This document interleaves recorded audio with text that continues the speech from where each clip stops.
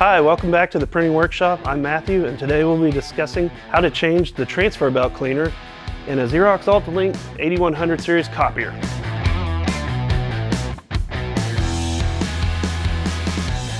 The first thing you're going to want to do is open the front cover.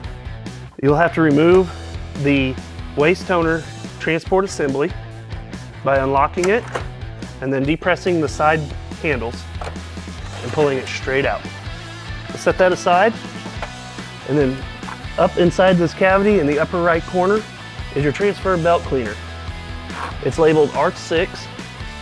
And what you're gonna wanna do is twist the orange lock handle counterclockwise. You'll simply grab it and pull straight out on it. And that's your transfer belt cleaner. To go back together, it's the exact opposite. You have a little guide on the top, similar to the drums, and it'll go right into the slot in the machine.